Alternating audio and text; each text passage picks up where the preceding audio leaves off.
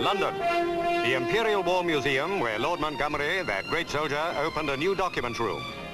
The old enemy lives on in pictures and in most of our memories. But there too, for all to see for the first time, is that infamous piece of paper which the then Prime Minister Neville Chamberlain brought back from Germany in September 1938. Hitler had signed it, and so had Chamberlain when he visited Munich. Its message, Chamberlain vowed, was peace in our time. These historic pictures gave all Britain tremendous hope when they were first screened 30 years ago.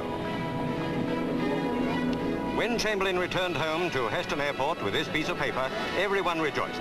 Hitler's assurance in writing and Chamberlain's confirmation of the lunatic's good intentions were indeed happy news.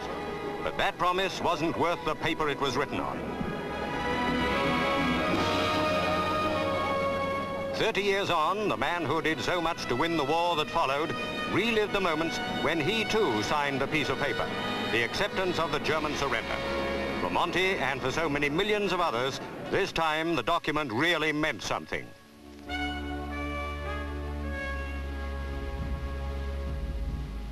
Now that truly historic document is there for all to see, complete with the readily forgivable error that Monty made of writing in and crossing out the wrong date.